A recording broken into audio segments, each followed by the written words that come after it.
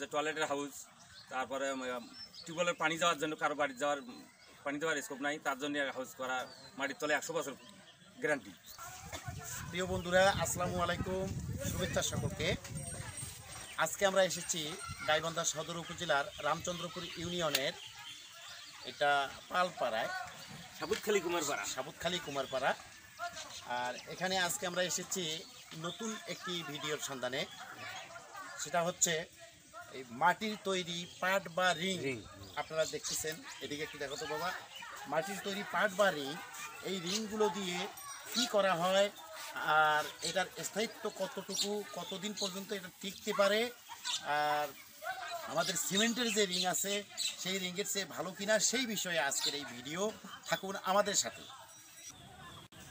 Hello বন্ধুরা প্রথমেই সংগৃহীত মাটি পানির মিশ্রণে পাট বা রিং তৈরি করার উপযোগী করে নেওয়া কাদামাটি মৃৎশিল্পের কারিগরের হাতের নিপুণ ছোঁয়ায় এভাবেই প্রাথমিক রূপ দেওয়া হয়। ভিডিওতে যেমনটা দেখতে পাচ্ছেন মৃৎশিল্পের কারিগরদের হাত যেমন চলে সে এরকম ঠিক পায়ের কাজও অনেক। পুরো ভিডিও দেখতে থাকুন আমাদের সাথে।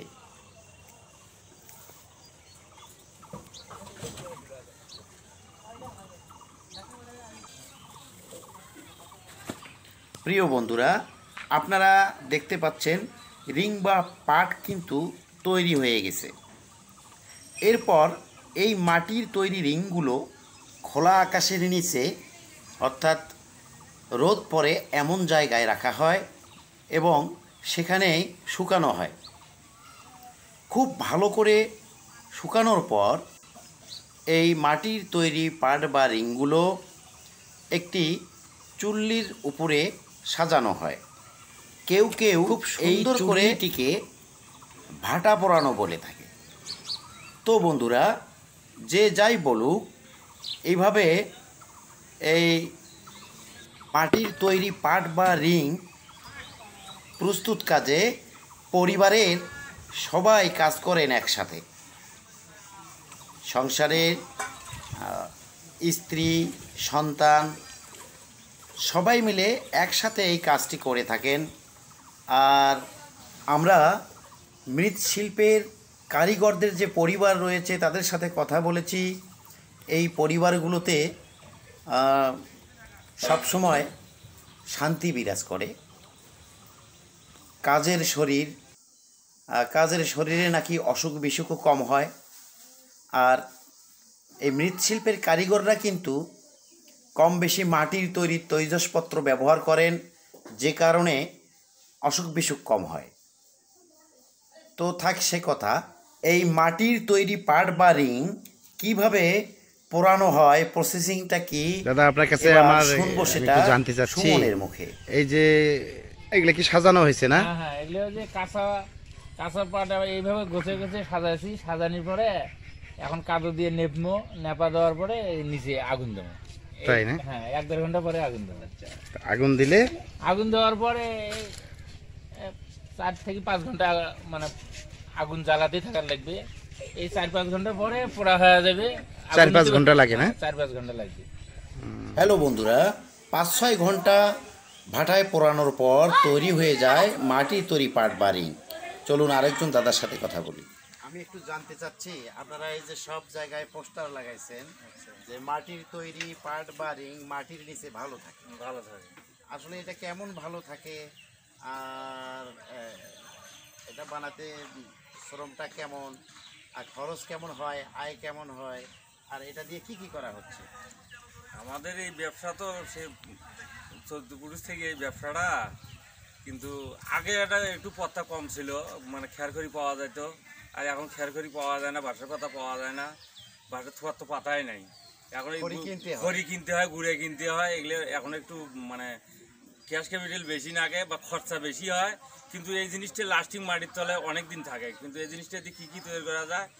এই মনে করেন যে টয়লেটের হাউস তারপরে টিউবওয়েলের পানি যাওয়ার জন্য কারও বাড়ি যাওয়ার পানি দেওয়ার স্কোপ নাই তার জন্য হাউস করা মাটির তলে একশো বছর গ্যারান্টি গ্যারান্টিযুক্ত কাম হয় এই রিং একশো বছর একশো থাকবে। বছর থাকবে সিমেন্টের যে রিং আছে। সিমেন্টের রিং তো আপনার ওই পায়খানা পেশাবের নোনা জাতীয় জিনিস না ওটা নোনা ধরিয়ে একদম ডাবি যাবে। কিন্তু এটা পোড়া মাটি কোনোদিন মাটির তলে। একে যুগ যুগ থাকেই যায় মাটির তলে নষ্ট হবে না। কিন্তু এটা কিন্তু আমাদের একটু খরচা বেশি হওয়ার কারণে সরকার তো কোনো কেয়ার নিচ্ছে না।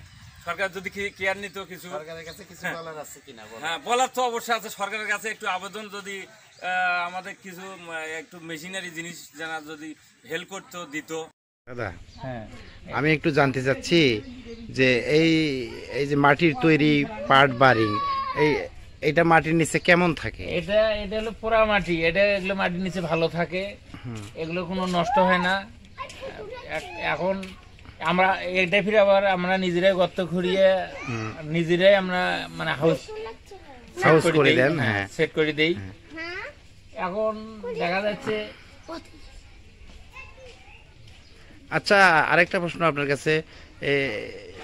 এটাতে লাভ কেমন হয়? লাভে লাভ তেমন হয় না। এখন দেখা যাচ্ছে যে কোনো কর্ম নেই বিধায় ব্যবসাটা ধরি থাকার লাগে।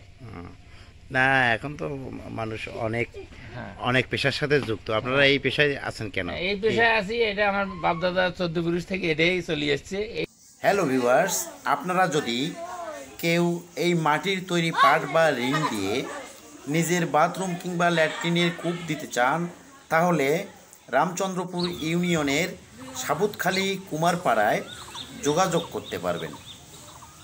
তারা নিজ দায়িত্বে আপনার কূপ খনন করে দেবে। কেউ বন্ধুরা আমাদের ভিডিওটি যদি আপনাদের কাছে ভালো লেগে থাকে তাহলে আমাদের চ্যানেলটি সাবস্ক্রাইব করে বেল বাটন ক্লিক করে দিয়ে পাশেই থাকবেন। যাতে করে আমাদের পরবর্তী ভিডিও আপলোড করার সাথে সাথে পৌঁছে যায় আপনার কাছে। আর হ্যাঁ আমাদের ভিডিওটিতে ছোট্ট একটি লাইক কমেন্ট এবং শেয়ার করে দিতে পারেন। ধন্যবাদ সবাইকে।